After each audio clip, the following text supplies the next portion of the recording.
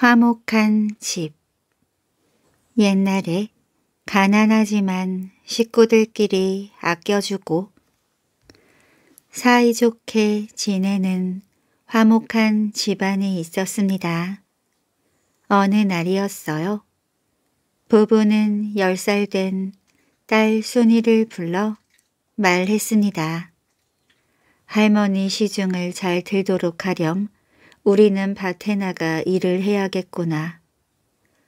아무 염려 마세요. 할머니는 제가 정성껏 돌봐드릴게요.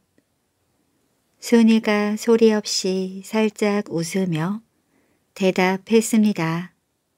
한편 집에 있던 할머니도 무언가 일을 거들어야 할 것 같았습니다. 늙었다고 허구한 날 밥만 먹고 먹고 놀 수는 없다고 생각했어요. 그래서 할머니는 호박 구덩이에 걸음을 주기로 했습니다. 요강이 어디 있더라? 할머니가 주위를 두리번거렸습니다. 그런데 할머니는 눈이 어두웠어요. 그래서 마루 구석에 있는 요강을 들고 간다는 게 잘못하여 참기름 단지를 들고 가 호박 구덩이에 모두 쏟아 부었습니다. 많이 먹고 쑥쑥 커라 호박들아. 그런데 어찌 냄새가 좀 특이하구나. 할머니가 잠시 고개를 갸웃거렸습니다. 이게 무슨 냄새지? 소니가 참기름 냄새를 맡고 밖으로 나갔어요. 소니는 깜짝 놀랐지만 차분한 목소리로 물었습니다. 할머니 뭐 하세요? 할머니가 배시시 웃으면서 소니를 보았습니다. 호박에 걸음을 주고 있단다. 그만두세요. 어머니가 돌아오시면 할 거예요.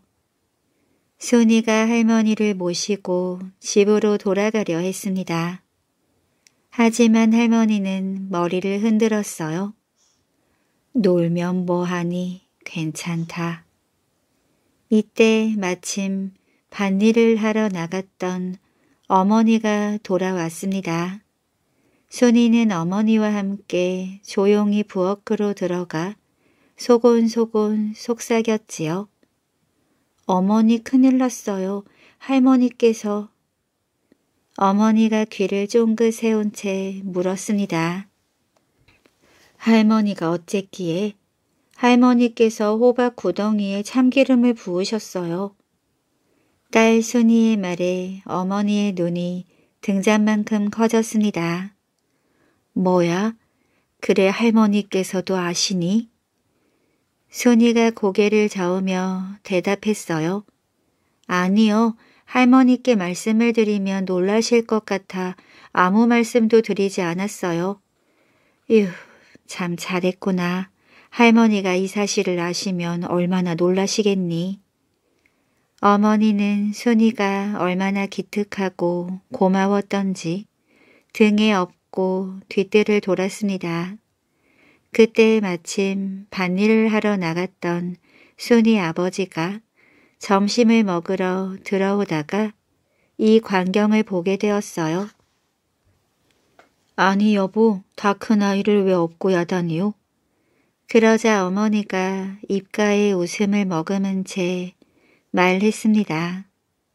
우리 딸 순이가 너무 기특해서 그래요. 순이 어머니가 조금 전에 있었던 일을 다 이야기했어요. 그러고는 다시 말을 이었지요. 여보, 어머니께서 걸음을 주시느라고 힘이 드셨을 거예요. 지금 방에서 쉬고 계시니 당신도 모른 척 하셔야 해요. 순이 어머니의 말을 다 듣고 난 아버지가 순이와 어머니를 보고 빙그레 웃었습니다.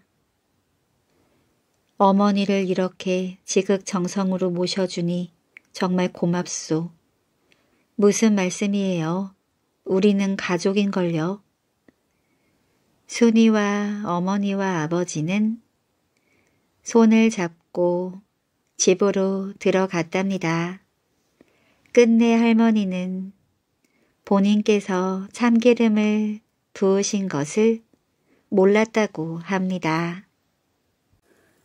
허풍쟁이 옛날에 경기도 양천 고을에 신시성을 가진 사람이 살았습니다. 그런데 그 사람은 대단한 허풍쟁이였어요.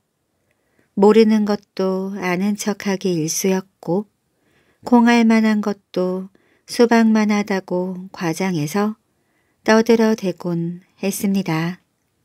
어느 날 신씨가 배를 타고 강을 건너고 있었어요. 그날따라 맑고 상쾌한 날씨에 산들 바람까지 솔솔 불어 강물이 아름답게 출렁거렸지요. 아, 이럴 때 내 친구 황신이 곁에 있었으면 시 한 수를 멋지게 읊을 텐데. 주위 사람들이 모두 들으라는 듯 신씨가 거드름을 피웠습니다. 황신이 마침 배에 없어 몹시 아쉽다는 말투였지요. 그런데 사실 그 배에는 마침 황신이 타고 있었습니다. 황신은 상을 당하여 상복을 입고 강을 건너던 참이었어요. 그 사실도 모르면서 신씨가 이러쿵 저러쿵 떠들었던 겁니다. 저 사람은 대체 누구기에 내 친구처럼 말하는 걸까? 황신이 신씨의 얼굴을 가만히 바라보았습니다. 분명 처음 보는 얼굴이었지요. 황씨는 생전 처음 보는 사람이 자기의 이름을 들먹이며 마치 친한 친구인 것처럼 말하는 게 이상했습니다. 그래서 신씨에게 물어보았지요. 여보시오, 당신은 황신을 잘 아시오? 그러자 신씨는 뽐내면서 거침없이 대답했습니다. 알다 뿐이겠소. 그는 어려서 나와 같은 서당에서 공부한 절친한 친구라오. 그와 날마다 시를 읊었는데 지금 이 자리에 없는 게 못내 섭섭하오. 황 씨는 기가 막혔습니다. 그러나 아무 말도 하지 않고 강을 다 건넜지요. 세상에 별 이상한 사람도 다 있구나. 하면서 말입니다. 그런데 그 일은 거기에서 끝나지 않았어요. 배에서 내린 신 씨가 쫄래쫄래 따라오더니 황신에게 말을 건넸습니다. 함께 배를 타고 온 것도 인연이 아니겠소? 서로 이름이나 알고 지냅시다. 대개 성함이 어떻게 되십니까? 황신이라 하오. 그 순간 신 씨의 얼굴이 백지장처럼 하얗게 변했습니다. 황신의 대답을 들은 신 씨는 너무 놀라 허둥대다가 그만 넘어져서 강물에 빠지고 말았답니다. 솥 안에 든 돈. 옛날 어느 고을에 가난한 선비 부부가 살고 있었습니다. 얼마나 가난한지 밥을 먹는 날보다 굶는 날이 더 많을 정도였어요. 그래도 선비는 배고픈 내색도 않고 초라한 집 방 안에서 하루 종일 글만 읽었습니다. 맹자왈, 공자왈. 그러던 어느 날 선비 집에 도둑이 들었습니다. 선비는 그 사실도 모르고 열심히 글만 읽었어요. 도둑은 뭐 훔쳐갈 것이 없나 집안 여기저기를 뒤지기 시작했습니다. 그런데 감나가는 폐물이나 돈은 보이지 않고 게다가 부엌을 들어가 봐도 쌀 한 톨도 보이지 않고 소뚜껑을 열어봐도 밥풀 하나 남아있지 않았습니다. 도둑은 너무나 어이가 없고 선비가 안 돼 보여 차마 그냥 돌아갈 수 없었어요. 그래서 윗마을 부잣집에서 훔쳤던 엽전을 한 움큼 꺼내 솥 안에 넣어두었습니다. 세상에 별일도 다 있지요. 도둑이 도둑질하러 갔다가 오히려 동냥을 해주고 가니까 말입니다. 다음 날 아침 부엌으로 들어간 선비의 아내는 깜짝 놀라 소단에 엽전이 들어있는 것을 선비에게 말했습니다. 아내가 소단을 가리키며 말했어요. 산신령님께서 우리의 딱한 처지를 불쌍히 여겨 돈을 넣어두신 게 분명해요. 우리 이 돈으로 쌀을 사서 맛있는 밥을 먹어요. 아내가 수선을 피우며 밖으로 나가려 하자 선비는 엄한 표정으로 말했습니다. 내 것이 아닌데 어찌 남의 돈을 함부로 쓸 수 있단 말이오. 그 돈을 주인에게 돌려주도록 합시다. 돈을 잃어버린 사람은 돈을 찾아가도록 하시오. 라고 글을 써서 문에 붙여 놓으시오. 그날 저녁 지난밤 일이 궁금했던 도둑은 선비집을 몰래 찾아가 보았습니다. 그런데 문에 이상한 글이 써 있는 거예요. 도둑은 할 말을 잃고 말았습니다. 도둑은 선비가 안 돼 보여. 선행을 베푼 것인데 선비는 그것도 모르고 돈을 돌려주려고 글까지 써 붙여 놓았으니 도둑 입장으로서는 답답할 노릇이었어요. 참으로 답답한 양반이네. 도둑이 궁시렁궁시렁 선비에게 사실대로 말을 할까 말까 망설이는데 언제 나타났는지 선비의 아내가 집으로 들어갔습니다. 얼마 후 선비의 집안에서 큰 소리가 나는 거예요. 도둑은 깜짝 놀라 울타리 너머로 고개만 내밀고 몰래 훔쳐보았습니다. 아니나 다를까 선비는 아내가 주워온 벼 이삭 몇 알로 죽을 끓이려는 걸 보고 나무라고 있었어요. 당신 지금 무얼 하고 있는 것이오? 아무리 벼 이상 몇 알이라고는 하나 농부들이 그 벼를 수확하기 위해 얼마나 많은 땀과 노력을 했겠소? 혹여 내가 그 사실을 모르고 지나쳤더라면 당신이나 나나 도둑과 무엇이 다를 것이오? 당장 벼 이삭을 주워온 논에 갖다 놓고 오시오. 도둑은 자신이 한없이 부끄럽고 창피해서 바위에 머리를 찍고 죽고 싶을 만큼 괴로웠습니다. 저 선비의 말이 하나 그르지 않구나.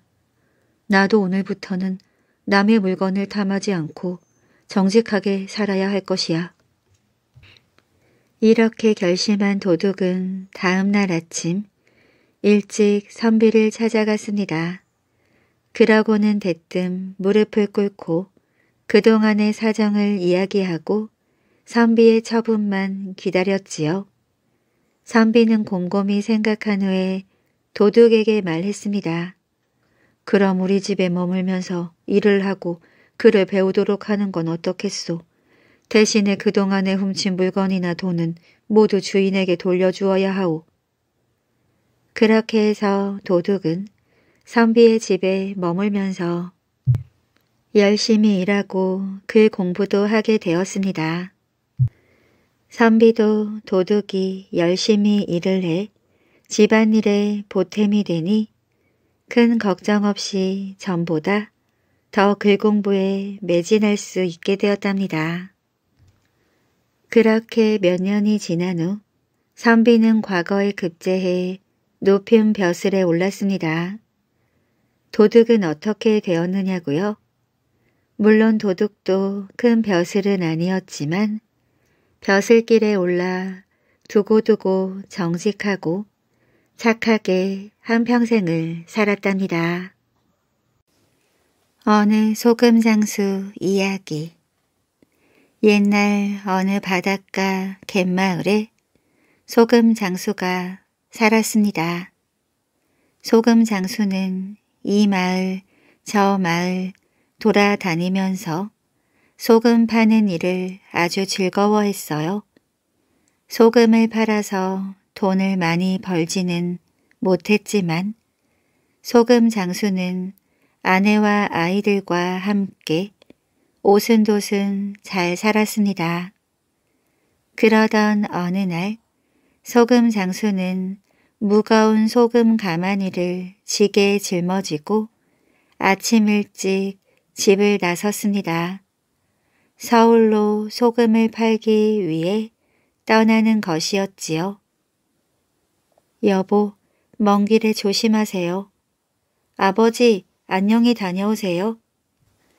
소금 장수의 아내와 아이들이 배웅을 했습니다.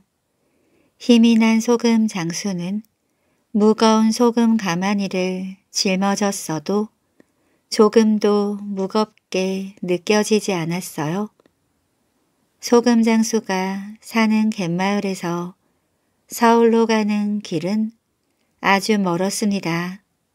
산을 넘고 개울을 건너는 힘든 길이었지만 소금 장수는 집에 있는 가족들을 생각하며 부지런히 걸음을 옮겼습니다.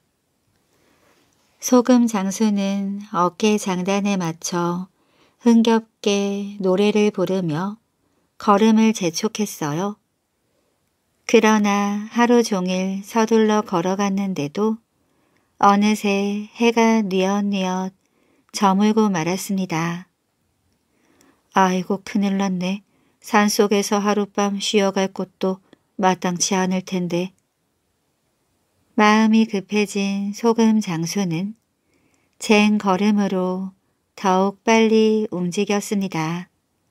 산속을 어서 벗어나고 싶었기 때문이지요. 그런데 얼마 안 가서 하늘이 온통 시커멓게 변하더니 갑자기 천둥이 치며 소나기까지 내리기 시작했습니다. 아이쿠 이런 비가 갑자기 내리네. 소금이 젖으면 큰일인데. 소금 장수는 빗방울에 옷이 젖는 것보다도 소금 가마니에 빗물이 스며들까봐 더욱 마음을 졸였습니다. 소금이 녹아버리면 아무에게도 팔 수가 없으니까요. 날도 어두운데 빗줄기가 더욱 세차게 쏟아지고 있었습니다. 그러자 빗물을 머금은 소금 가마니가 점점 무거워졌어요. 소금 장수의 발걸음도 조금씩 느려졌습니다. 게다가 산속에서는 금방이라도 어디선가 호랑이가 나타날 것만 같아 소금 장수는 겁을 잔뜩 집어먹었어요. 다리가 후들후들 떨려왔습니다. 소금 장수는 빗물인지 땀방울인지 구분할 수 없을 만큼 온몸이 다 젖었습니다. 그렇게 정신없이 걷고 있는데 저 멀리서 불빛이 아른거리는 게 아니겠어요? 그 순간 소금 장수는 휴 하고 안도의 한숨을 내쉬었습니다. 옳지, 불빛이 있는 걸 보니 사람이 살고 있겠구나. 소금 장수는 불빛을 보자 온몸에 힘이 솟는 듯 했습니다. 이제 조금만 더 가자. 저기 저 집에 가면 편히 쉴 수 있을 거야.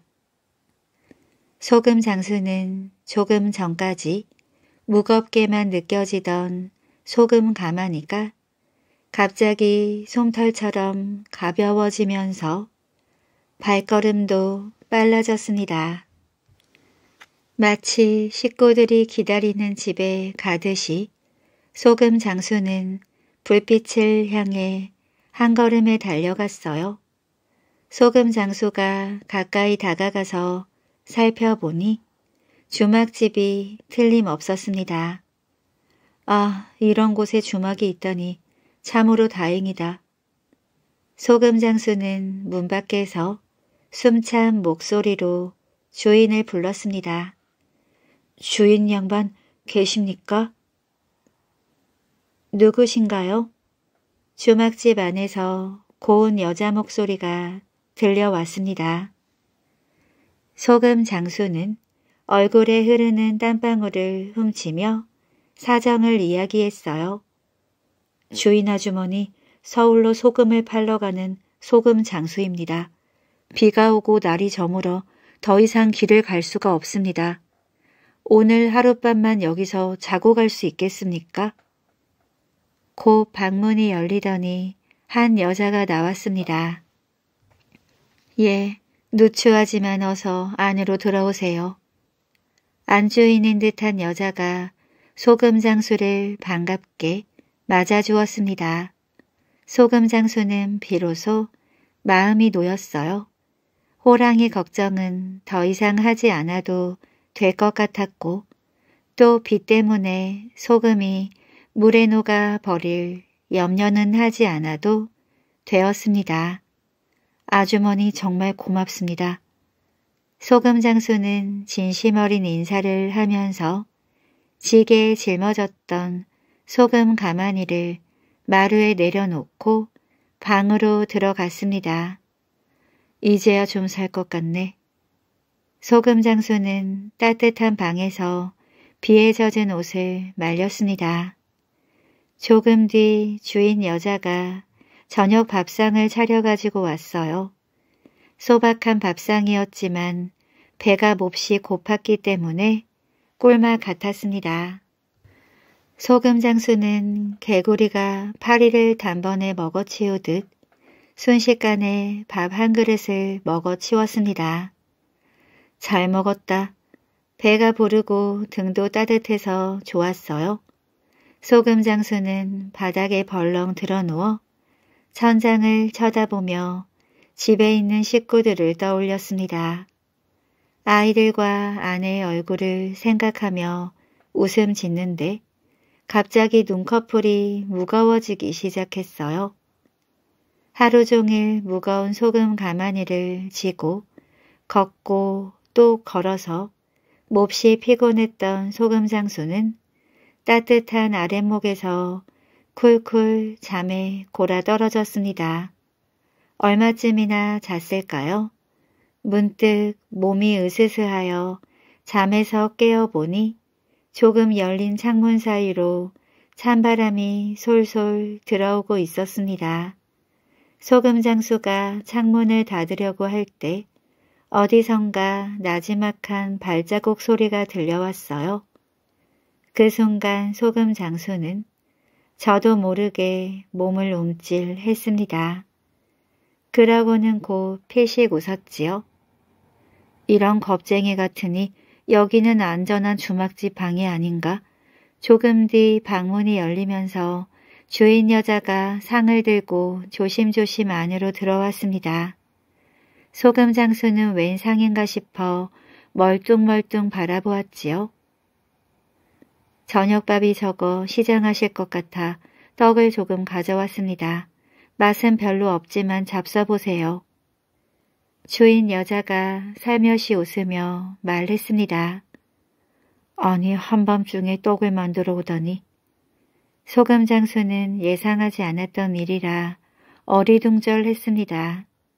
마침 오늘이 남편의 제삿날이랍니다. 그래서 떡을 좀 만들었지요. 주인 여자의 설명을 듣고 나서 소금 장수는 머리를 끄덕였습니다. 남편의 제삿날이라는 말이 마음에 조금 걸리긴 했지만요. 아, 그렇군요. 제가 혼자 사는 처지라서 별로 차린 게 없습니다. 어서 떡을 잡수시지요. 예, 잘 먹겠습니다. 주인 여자는 상을 내려놓고 방에서 나갔습니다. 먹음직스럽네. 소금 장수는 떡을 보자 금세 군침이 돌았어요. 콩고물을 묻힌 둥그스름한 떡이 아주 먹음직스러워 보였습니다. 저녁을 먹긴 했지만 한숨 자고 일어났더니 조금 출출하네. 몇 개만 먹어볼까? 소금 장수는 떡을 세 개 맛있게 먹은 다음 시원한 김치 국물을 후루룩 마셨습니다. 그런데 뭔가 좀 이상했어요. 잘 먹었다. 이렇게 말을 하려고 했는데 도무지 말문이 열리지 않았습니다. 마치 꿀먹은 벙어리라도 된 것 같았지요. 아니 이럴 수가. 당황한 소금 장수가 주인 아주머니를 불러보았습니다. 아주머니. 그런데 소금 장수의 입에서는 엉뚱한 소리가 튀어나왔습니다. 그건 사람들이 가끔 두 입술을 떨며 장난을 칠 때 내는 것과 비슷한 소리였어요. 그리고 짐승들이 입을 털 때 내는 소리이기도 했습니다. 아니 내가 왜 이러지? 그 순간 소금 장소에 등줄기를 타고 식은 땀이 주르륵 흘러내렸습니다. 소금 장수는 아무리 생각해도 지금 무슨 일이 벌어지고 있는 건지 알 수가 없었습니다. 그런데 그뿐만이 아니었어요. 소금 장수가 자기 몸을 보니 어느새 갈기가 달린 검은 말이 되어 있었습니다. 이게 뭐야? 내가 왜 이런 모습이 된 거지? 소금 장수는 머리를 마구 흔들었습니다. 도저히 믿을 수 없었기 때문이지요. 사람이 하는 말 대신 이상한 소리를 내는 검은 말이 되자 소금 장수는 눈앞이 캄캄했습니다. 그리고 갑자기 변해버린 자신의 모습이 너무 무서웠어요. 그 때문에 밖에서 방안을 엿보던 주인 여자가 음흉한 미소를 짓는 것을 보지 못했습니다. 그 후 소금 장수는 결국 주인 여자를 발견하고 말았습니다. 주인 여자의 꿰매 넘어갔다는 사실을 안 소금 장수는 소리를 질렀습니다. 살려주세요. 하지만 아무도 도와주지 않았습니다. 이 말은 제법 비싸게 받겠는걸 털에 용기가 자르르 흐르는 게 아주 마음에 들어. 주인 여자는 재갈을 물리고 굴레를 씌워서 소금 장수를 마구간 말뚝에 단단히 잡아맸습니다. 소금 장수는 집에서 기다리고 있을 식구들 생각에 눈물만 흘렸습니다. 이튿날이 되었어요. 장터에서 저 말을 팔아 돈을 벌게 되면 뭘 할까?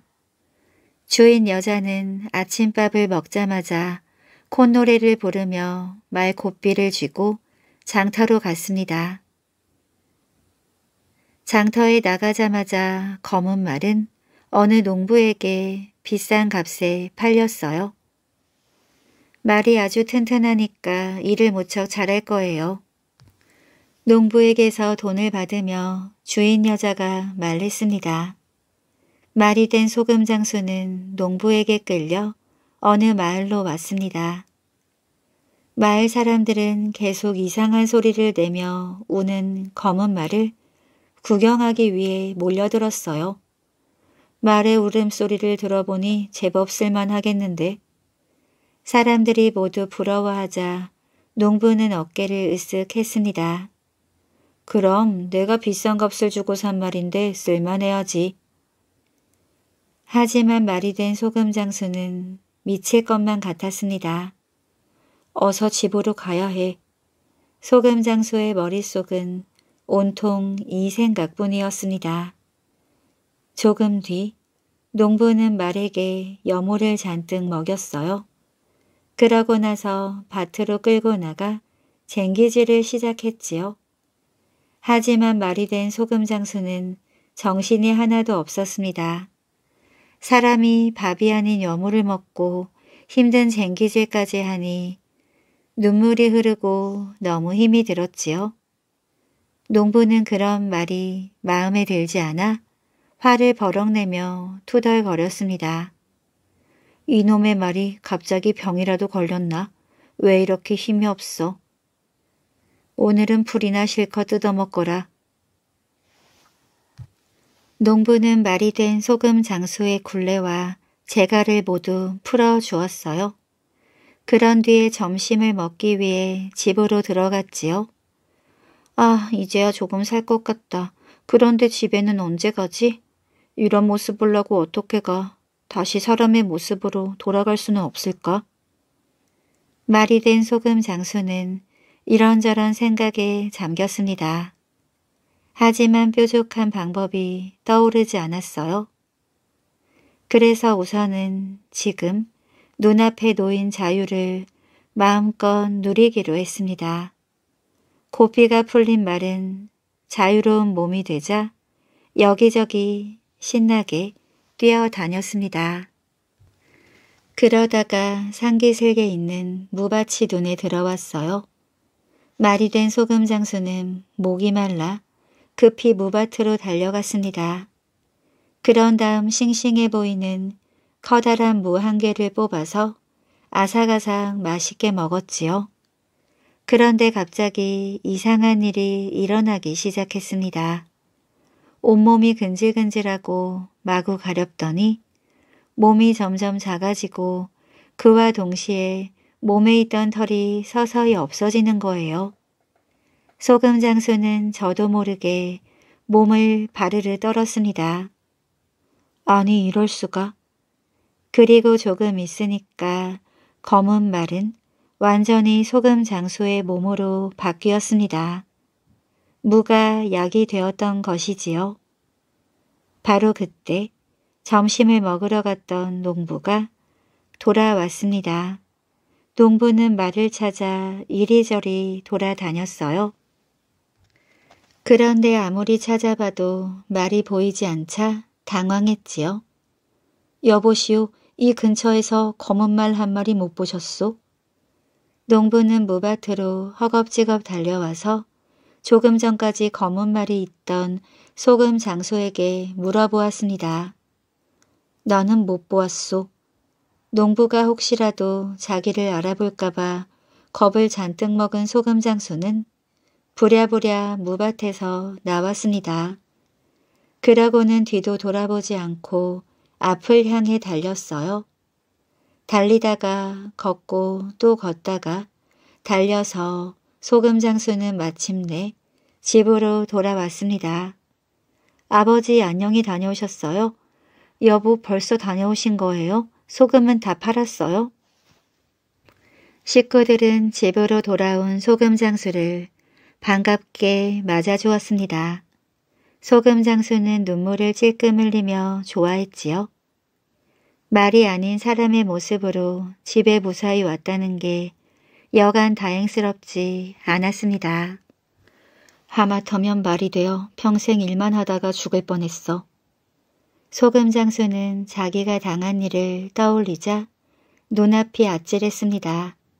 그래서 자신을 말로 만들어 팔아버린 주막집 여자를 그냥 놔둘 수 없다고 생각했어요. 나처럼 당하는 사람이 없도록 벌을 줘야 해. 며칠 뒤 소금 장수는 소금 한 가마를 짊어지고 다시 그 주막집을 찾아갔습니다. 소금 장수는 주막 근처에서 해가 저물기를 기다렸어요. 자신의 모습을 알아보지 못하도록 차림새를 감쪽같이 바꾸었지만 혹시 몰라서 날이 어두워지기를 기다렸다가 주막 안으로 들어갔습니다. 주인 계십니까? 날이 저물어 더 이상 길을 갈 수가 없으니 오늘 하룻밤만 자고 갈 수 있겠습니까? 어서 오십시오. 저희 집에서 마음껏 쉬었다 가세요. 주인 여자는 소금 장수를 반갑게 맞아주었습니다. 그런데 소금 장수가 누군지 전혀 알아보지 못하는 눈치였어요. 어느덧 한밤중이 되자 주인 여자는 그 이상한 떡이 차려진 상을 들고 왔습니다. 마침 오늘이 남편의 제삿날이라 떡을 좀 했답니다. 주인 여자가 다정하게 말했습니다. 그러나 소금 장수는 주먹을 불끈 쥐었지요. 이번에는 절대 안 속는다. 소금 장수는 그 떡을 몰래 감추었습니다. 빈 접시만 상위에 놓고 누워서 잠을 자는 척 했어요. 오늘 밤엔 이상하네. 주인 여자는 소금 장수가 당연히 말로 변한 것으로 믿었습니다. 그런데 아무런 변화가 없자 기다리다 지친 주인 여자는 방문 틈으로 방 안을 몰래 들여다보았어요. 그런데 접시 위에 있던 떡은 보이지 않고 빈 접시뿐이었습니다. 그럴 리가 없는데 뭐가 잘못된 거지? 주인 여자는 아무래도 떡이 잘못된 것 같다는 생각을 했습니다. 그래서 부랴부랴 부엌으로 들어가 남아있던 떡을 시험 삼아 먹었지요. 이렇게 효과가 좋은데 저 손님은 웬일일까? 주인 여자는 말로 변해 있었습니다. 그런데 시험 삼아 떡을 먹었던 자신이 말이 되어 가고 있다는 사실을 난 주인 여자는 쩔쩔맸습니다. 결국 주인 여자는 자기께 자기가 넘어간 것입니다. 자신이 파놓은 함정에 자신이 빠진 주인 여자는 조랑말로 변했습니다.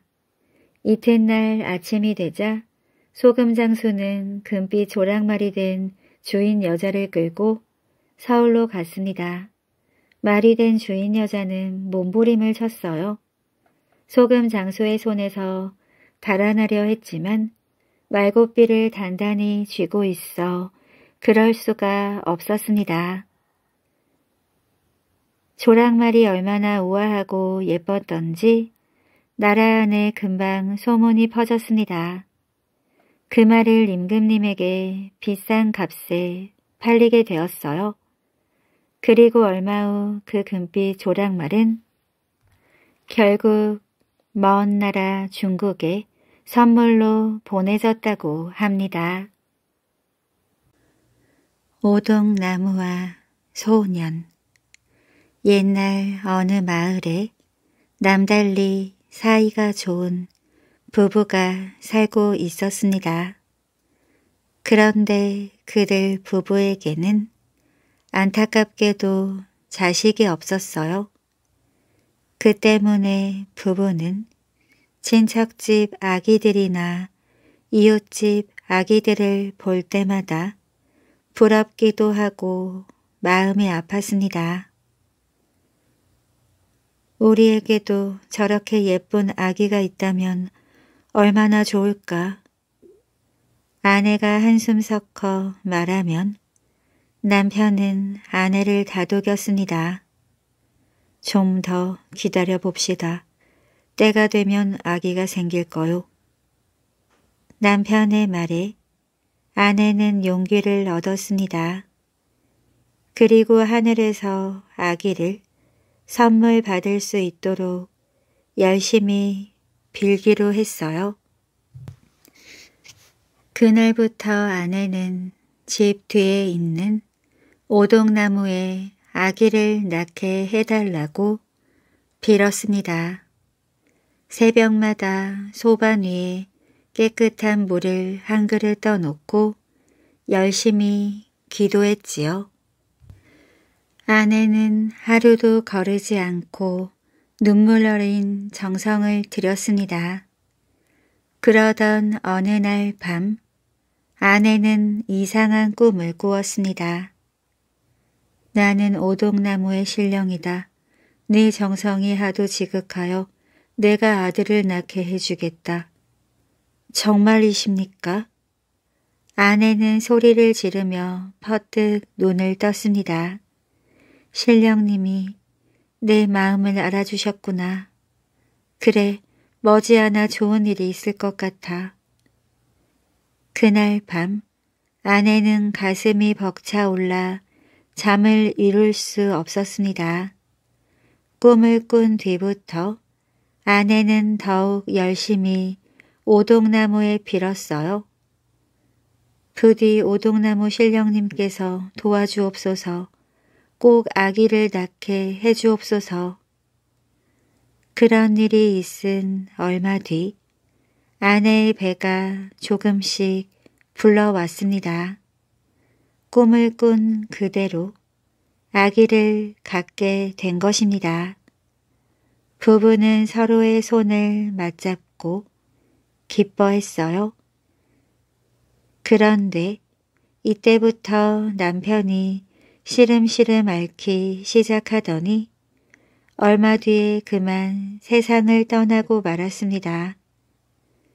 그렇게 바라던 아기가 태어나는 것도 보지 못하고 남편은 저 세상으로 떠난 겁니다. 아내는 가슴이 찢어지는 것 같았어요. 아기의 재롱도 보지 못한 채 떠난 남편이 가여웠습니다. 또 남편 없이 혼자 살아가야 할 일이 염려스러웠지요. 혼자가 된 아내는 소원대로 건강한 사내 아이를 낳았습니다. 서방님이 계셨으면 얼마나 좋아했을까. 아내는 아기를 정성껏 키웠습니다. 세상을 떠난 남편에게 부끄럽지 않도록 말입니다. 세월은 소리 없이 빠르게 흘러갔어요. 어느덧 아기가 자라서 말귀도 알아듣고 걸음마도 곧잘 하게 되었습니다. 그런데 이 일을 또 어쩌지요?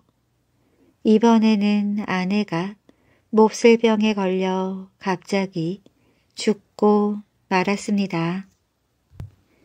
이 세상에 태어난 지 얼마 되지도 않아 아기는 외톨이가 돼버렸습니다. 불쌍한 아기는 그런 어려움 속에서도 무럭무럭 건강하게 자라 소년이 되었어요. 어른을 보면 깍듯하게 인사도 할 줄 알고 어깨 너머로 글 공부도 어느 정도 했습니다. 그러던 어느 날 밤이었어요. 소녀는 이상한 꿈을 꾸었습니다. 하얀 수염을 길게 늘어뜨린 할아버지가 꿈속에 나타나 소년을 불렀습니다. 얘야.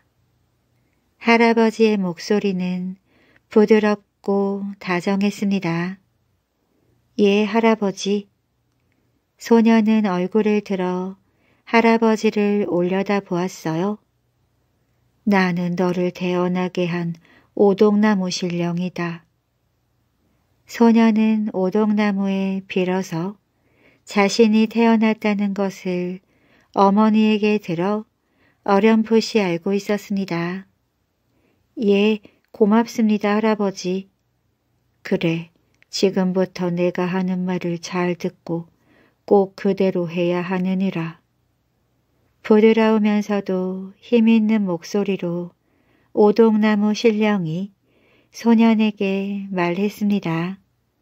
예, 말씀하세요. 소년은 마른 침을 꿀꺽 삼켰습니다. 오는 보름날부터 꼭 닷새 동안 금비가 계속 쏟아져 이곳이 물바다가 될 것이다. 그러니 너는 비가 오기 전에 미리 오동나무 위에 집을 짓고 그리로 피해야 하느니라. 예, 잘 알았습니다. 꼭 그렇게 하겠어요. 소년이 또박또박 대답했습니다. 그런데도 오동나무 신령은 소년에게 다시금 이야기했어요. 틀림없이 그렇게 해야 한다. 예, 할아버지. 그대로 하겠으니 염려 마세요. 오동나무 신령은 말을 마치자 조용히 사라졌습니다. 이튿날 소년은 다른 어느 때보다도 아침 일찍 일어났어요. 오동나무 신령의 말대로 오동나무 위에 집을 지어야 했으니까요. 소녀는 뒤뜰에 있는 막대를 주워다가 오동나무 가지 사이에 얼기설기 엮은 다음에 새끼로 촘촘히 붙잡아 메었습니다. 그렇게 해서 마치 원두막처럼 생긴 집이 한 채 만들어졌지요. 이 정도면 큰 비를 피할 수 있겠지? 소녀는 자신이 만든 집을 보며 고개를 끄덕거렸습니다. 집이 튼튼해 보여 몹시 뿌듯했어요. 집을 짓느라 피곤했던 소녀는 밤이 찾아오기 무섭게 잠자리에 들었습니다. 그런데 그날 밤 꿈에 또다시 오동나무 신령이 나타났습니다. 오동나무 신령은 웃음을 지으며 소년에게 말했어요. 집은 그만하면 아주 잘 지었다. 예, 고맙습니다, 할아버지. 소녀는 기분이 좋아져 씩 웃었습니다. 또 한 가지 해야 할 일이 있느니라. 말씀하세요. 두 귀를 쫑긋 세운 채 소녀는 오동나무 신령의 말에 귀를 기울였습니다. 잡쌀로 밥을 지어 꼭 세 덩어리만 크게 뭉치도록 해라. 그리고 비가 오면 그것을 챙겨서 오동나무 집으로 올라가야 하느니라. 소녀는 싹싹하게 대답했습니다. 예, 할아버지 말씀대로 할게요. 꿈에서 깬 소녀는 곧바로 찹쌀로 밥을 지었습니다. 그런 다음 끈끈한 찰밥을 뭉쳐 크게 새 덩어리를 만들었지요. 조금 뒤 파랗던 하늘이 갑자기 온통 먹구름으로 뒤덮이기 시작했습니다. 그러더니 금세 굵은 빗방울이 후드득 후드득 떨어지면서 요란한 빗소리가 세상을 가득 메웠어요. 그동안은 본 적이 없던 아주 큰 비였습니다. 할아버지가 말씀하신 때가 왔구나.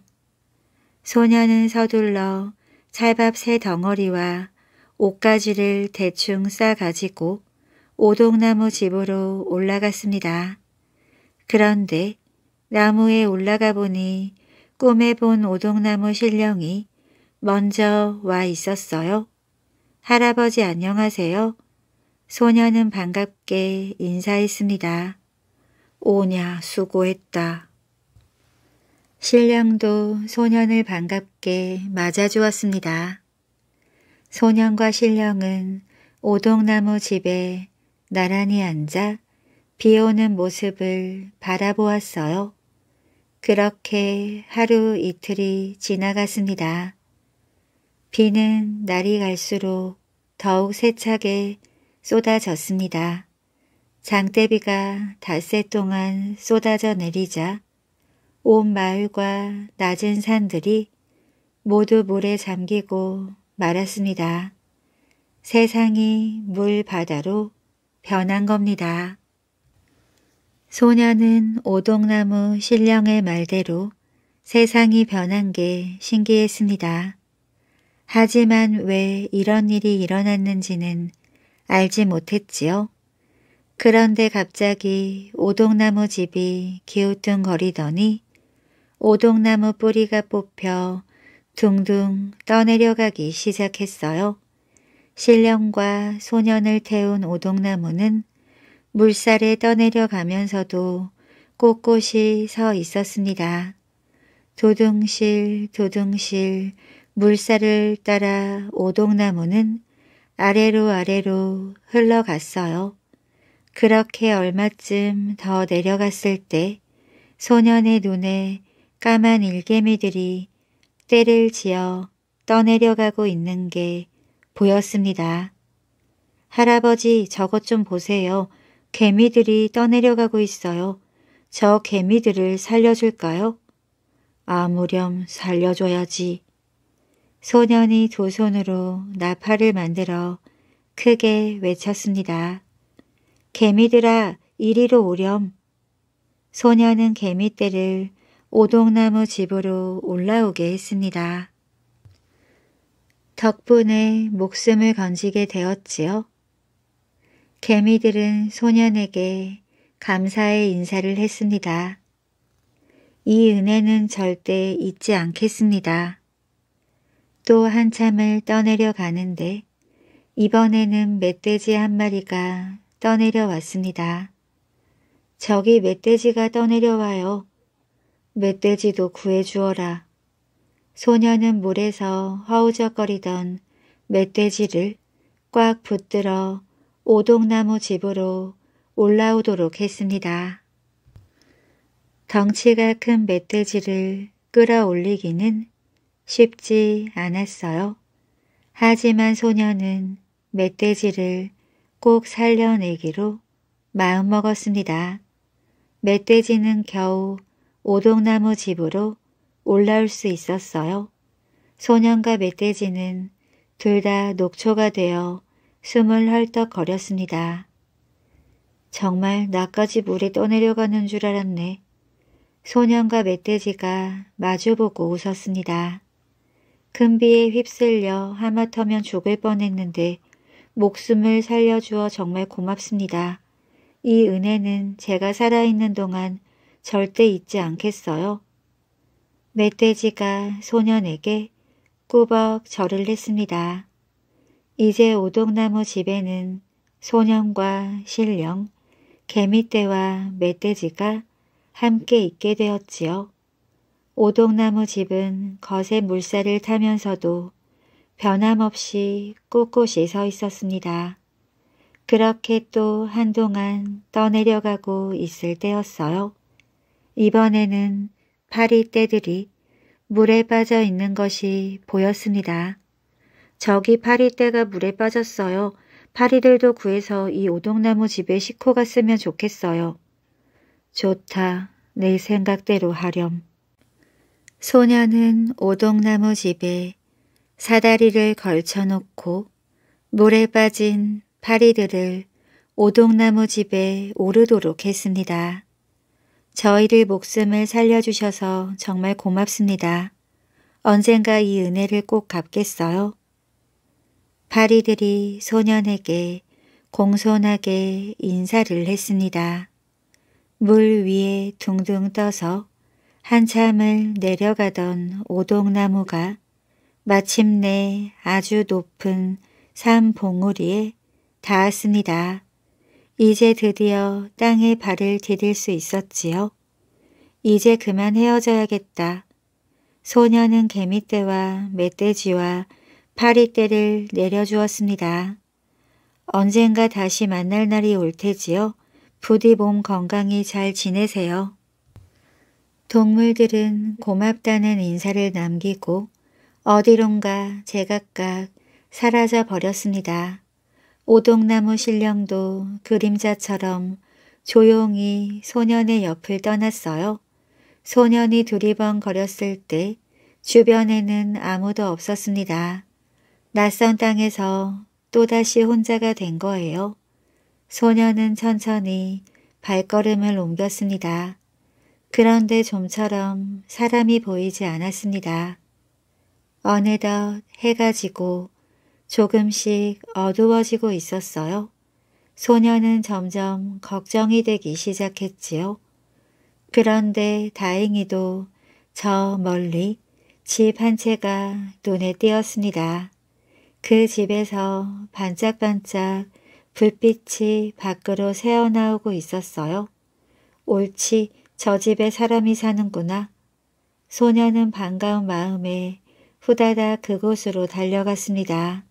가까이 가보니 그 집은 열두 대문이 있는 큰 기와집이었습니다. 소녀는 대문 앞에 서서 주인을 불렀어요. 주인 계십니까? 소년의 오랑찬 목소리가 밤하늘에 울려 퍼졌습니다. 아니 이 밤에 누구시오? 안주인인 듯한 여인이 대문을 열고 내다보았습니다. 어찌어찌 하다가 이곳까지 오게 되었습니다. 하룻밤 묵을 수 있겠습니까? 간곡한 눈빛으로 소년이 여인을 바라보았습니다. 들어오시오. 여인은 소년의 차림새를 살피고 나더니 허락을 냈습니다. 여인을 따라 집 안으로 들어간 소년은 흠칫 놀랐어요. 마루에 아주 예쁘게 생긴 아가씨가 앉아 있었거든요. 그리고 사랑방 앞에는 남자 신발 한 켤레가 놓여 있었습니다. 아가씨를 보자 소년의 가슴이 콩닥콩닥 뛰었어요. 가슴 뛰는 소리가 어찌나 큰지 옆 사람에게 들킬까봐 소녀는 어쩔 줄을 몰랐습니다. 알고 보니 소년에게 대문을 열어준 여인은 아가씨의 어머니였습니다. 사랑방에 있는 남자는 이 집 아가씨에게 청혼을 하기 위해 온 청년이었고요. 소년은 두근거리는 가슴을 애써 가라앉혔습니다. 그런 뒤 숨을 크게 들이마시고 용기를 내어 입을 열었어요. 저는 이번 물난리를 피해서 온 사람입니다. 이 집에 들어오게 된 것도 인연인가 봅니다. 그러니 저를 이 집의 사위로 삼아 주십시오. 어찌나 큰 목소리로 말했는지 사람들이 모두 깜짝 놀랐습니다. 게다가 대뜸 하는 말이 사위라니요. 더더욱 놀랄 수밖에 없었습니다. 소년도 자신이 내뱉은 말에 깜짝 놀라기는 마찬가지였어요.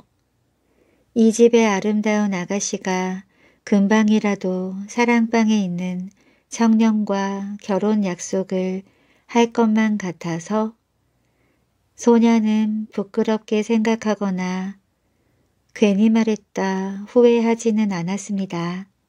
소년의 말을 들은 아가씨의 어머니는 기가 막히다는 표정이었어요. 갑자기 나타난 소년이 느닷없이 딸에게 청혼까지 하다니요. 어처구니가 없었습니다. 아가씨의 어머니는 아무런 대꾸도 못한 채 잠자코 있었습니다. 그러다가 좋은 생각이라도 떠오른 듯 입을 열었어요. 우리 딸과 결혼하고 싶으면 시험을 봐서 반드시 통과해야만 하오. 자신 없으면 당장 이 집을 떠나시오. 아닙니다. 무엇이든지 말씀만 하십시오. 소녀는 가슴을 당당하게 펴고 우렁차게 말했습니다. 아가씨의 어머니가 코웃음을 치더니 첫 문제를 냈습니다. 먼저 참깨 한 대를 줄 테니 뒷동산에 심고 오도록 하시오. 예. 소녀는 신이 나서 한달음에 뒷동산까지 달려갔습니다. 그런데 뒷동산은 온통 바위투성이라 참깨를 한 톨도 제대로 심을 수 없었어요. 어떻게 하지? 소년이 한숨만 푹푹 쉬고 있을 때였습니다. 어디선가 난데없이 멧돼지 한 마리가 나타난 거예요. 멧돼지는 소년 곁으로 성큼성큼 다가오더니 주둥이로 바위돌을 이리저리 밀쳤습니다. 놀란 소년은 마냥 지켜보았지요. 멧돼지는 쉬지 않고 무거운 바위돌을 발로 찼습니다. 그러자 땅이 드러나 참깨를 심을 수 있게 되었어요. 멧돼지야 고맙다. 은혜라니요. 죽을 뻔한 목숨을 살려주신 데 비하면 아무것도 아닙니다. 은혜를 입었다고 고마워하는 소년에게 멧돼지가 말했습니다. 저는 예전에 물에 떠내려가던 것을 구해준 멧돼지입니다. 소녀는 멧돼지를 보고 반가워했어요. 그랬구나. 아무튼 고맙구나. 소녀는 정신을 차리고 정성스럽게 참깨를 심기 시작했습니다. 멧돼지 덕분에 첫 시험을 잘 통과했어. 소녀는 기분 좋은 마음으로 집으로 돌아왔습니다. 소년이 돌아오자 아가씨의 어머니는 많이 놀랐습니다.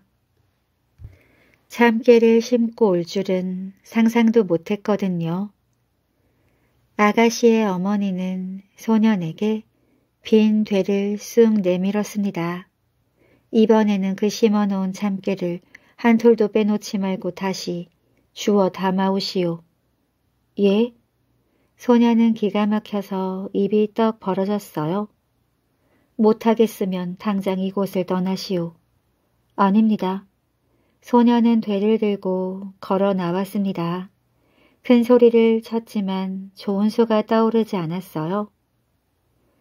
뒷동산에 올라온 소녀는 한숨만 나왔습니다.